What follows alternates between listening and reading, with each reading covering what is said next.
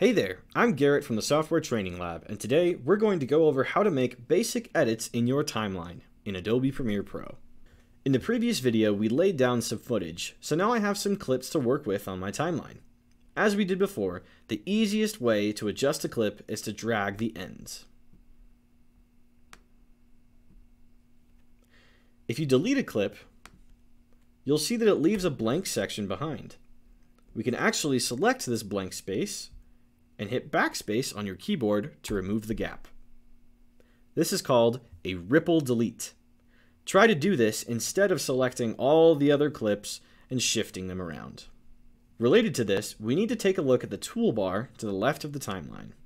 Normally, we're going to stay using the selection tool, which you can access at any time by pressing V on your keyboard. Just below the selection tool, we can find track select forward, and if we click and hold, that will also bring up track select backward. This is super helpful if you need to make space in your timeline. With track select forward, I can click once and select all the clips to the right of my cursor.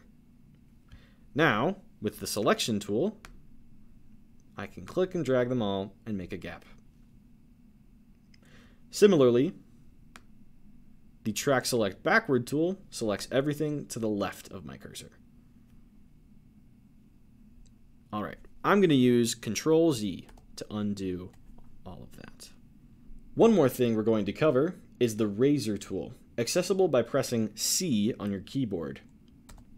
We can also find it here in the toolbar. With the Razor tool, we can click anywhere on a clip to split them in two. This is a really easy way to chop up your footage. We can also split clips under the playhead with an easy shortcut.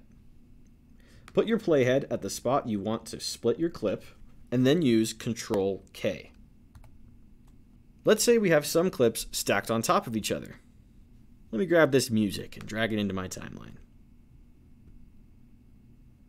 If I want to split all of my clips at the same time, I can use Control Shift K.